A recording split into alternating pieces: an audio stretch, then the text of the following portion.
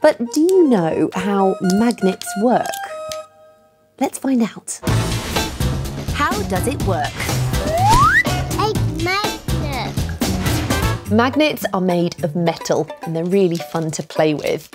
Look what happens when you put two magnets together like this. It feels like they're pulling towards each other until eventually, snap, they pull together.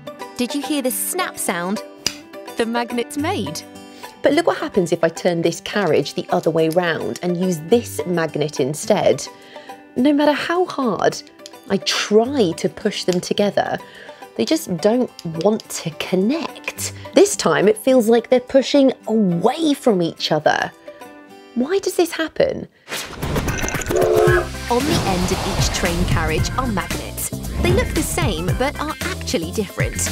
Every magnet has two sides called poles. One side is called the North Pole and the other side is called the South Pole. And the whole magnet is surrounded by an invisible area called a magnetic field.